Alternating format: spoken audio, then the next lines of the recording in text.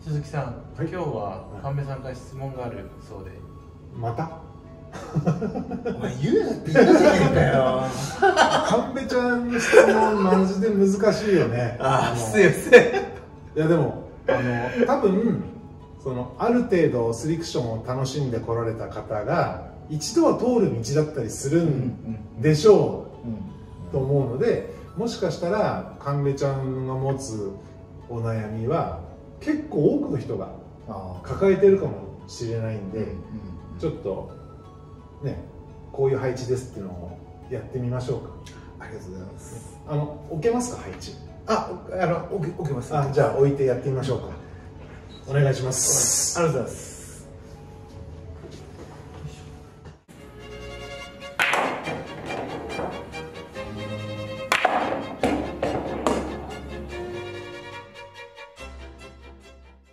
えっ、と神戸さんのご質問の配置っていうのはこういう雰囲気かなと思うんですけどちょっとこちらから見てもらえますか、どうでしょう？まあこういうやつですよね。そうっすね。あのーそうですね。はいはいはい。はいまあ、まず、えー取り方がねまあ2つ3つあるんですよ。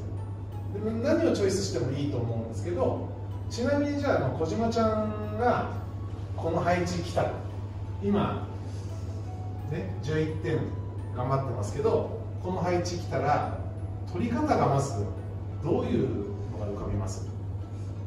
赤の右に当てて、はいはい。えー表回し。あ表回し。っていうとあこっちに当ててこういってなんかこっちの方からこうこういうやつ。ああなるほど。まあなくはないと思う。どうぞ。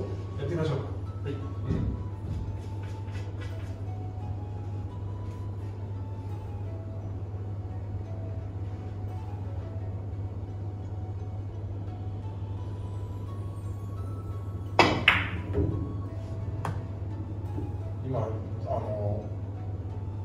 期待を裏切ってすっごい上手に 薄く当たったしすごいいい感じだったけど、まあ、でも外れちゃう。そのうまくいったのに外れちゃってすごい残念なんですよね。で難易度からいくと今もうまくいったのに外れちゃうからやっぱり難しいんでしょ。あの取り方が。はい。相当薄いし、でそういうのを踏まえるとまあやっぱりこうチョークッションチョークッションでタンクッションで黄色に行く旗折りっていう取り方が、まあ、確率的には高いんじゃないかなと思うんですけどそれも難しいって話ですよね神戸さん。はい、あのーそうですね、その旗織りの考え方を知りたいなというところがあって、はい。僕はその基準がないので、はいなんとなくそのその場その場で薄か、はい薄く狙おう、厚く狙おう、あそれね。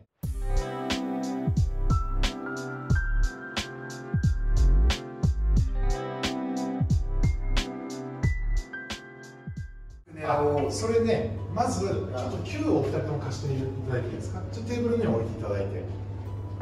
えっとこれを赤の左に当ててチョークッションチョークッションタンクッション線が2本あります。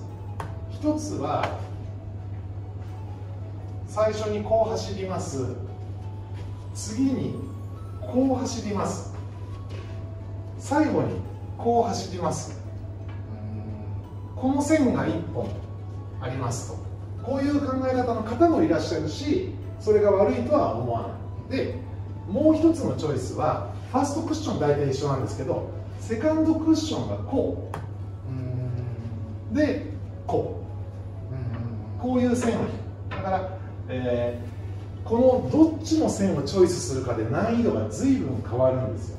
でこの配置に関してはこちらのチョイスをした方が確率がいいので、えーこれを狙っていきます。はい。でこの時の考え方を説明します、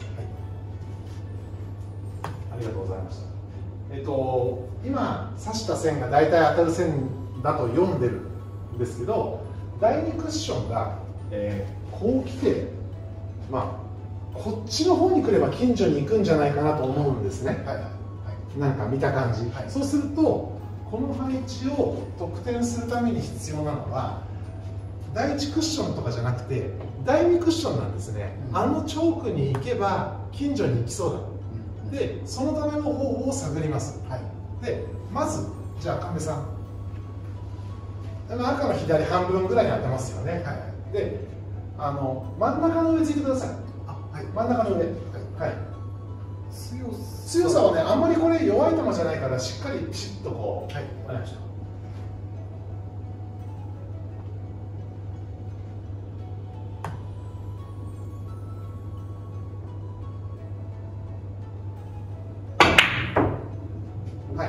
うなりますよね。まあ構えててそれはそうなるよなと思いながらついたと思うんですけどね。でじゃあ今のを踏まえるとどういう工夫をすべきなのかっていうのが2つ出てきます、はい。今真ん中の上ついていただいたんですけど、はい。今度はじゃあ左の上ついてくださいはい。左をひねればもっとこっちに来るんじゃないかっていう気もしますからね、はいはい左の上をついてみます。か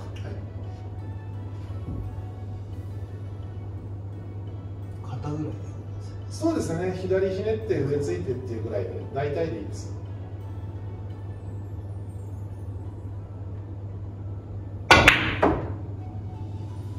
はい。今チョークのとこ行きましたよね。はだけど左ひねっていってるんでこっち側にこう外れちゃうんですよね、いはいはいはい。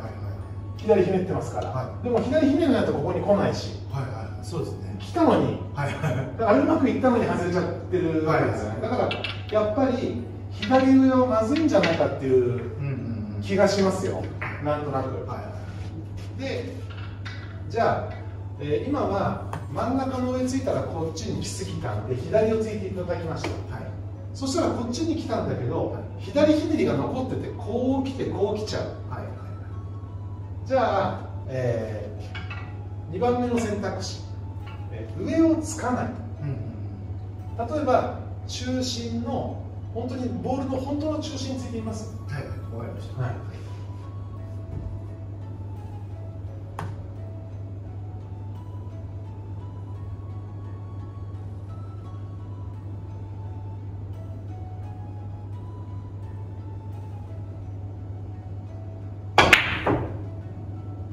はい。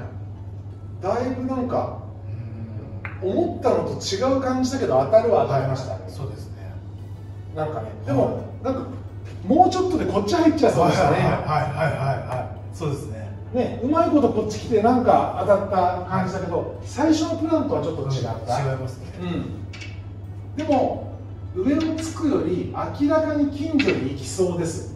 なんか。なるほだからこういう時の、ね、工夫の仕方。真ん中の上でダメなら次に考えるべきは、えー逆をひねったらどうなんだ。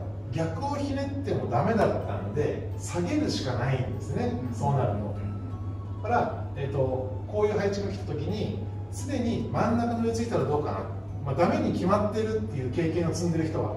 でも一応そこを見る。でその次に真ん中でダメなら左逆ひねればいいんじゃないか。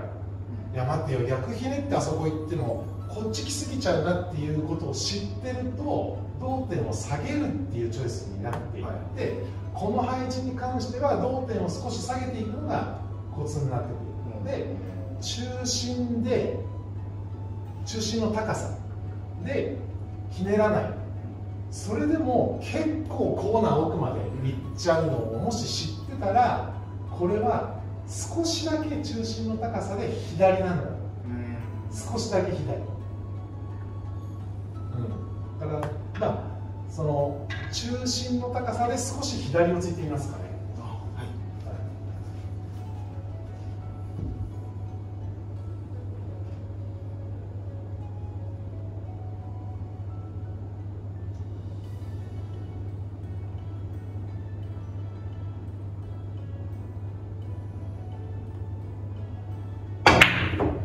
そうですね。おおすげえいやナイスショットじゃないですか。あうん、だからその同点をこれ消去法でここはつけないここはつけないっでいって残ったところが今のところなんですよね、うん、でじゃあその組み合わせを知ってたら小島ちゃんがトライして成功するのかっていうのを実験してみましょうか。もうねめちゃくちゃ難しいんでこんなのは本当に。あの当たんなくてもいいまでありますよ。でも今の話を聞いてどうも中心ぐらいで気持ち左ひねるらしいと。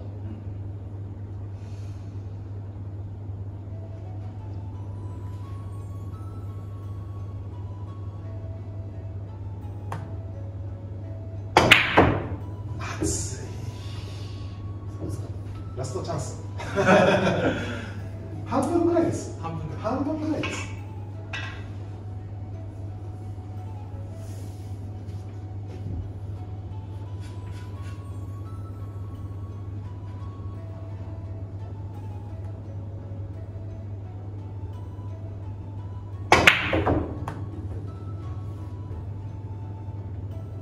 あーなんか漢字は違うんですけど 当たるは当たったんですけど今はあのー右にギュッて球が出てちょっと左がちょっと右になったんですよね、うん。で中心の高さも球も下がったんで下の右になりました。ああなるほど。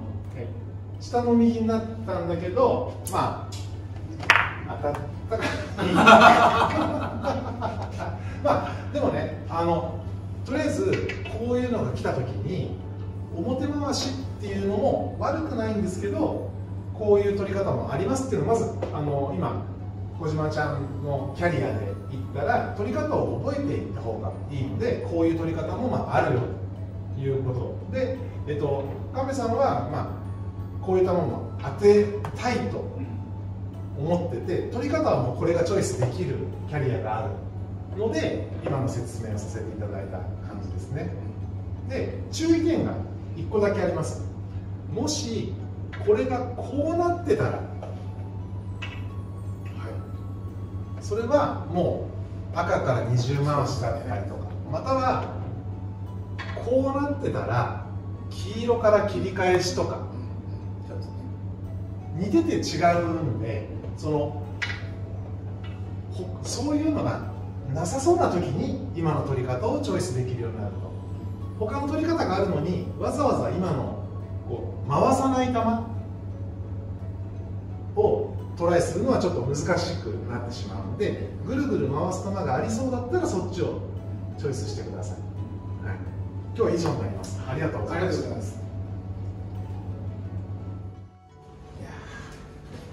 りがとうございます。いえありがとうございましたありがとうございます。ひまちゃん言ってくれてありがとう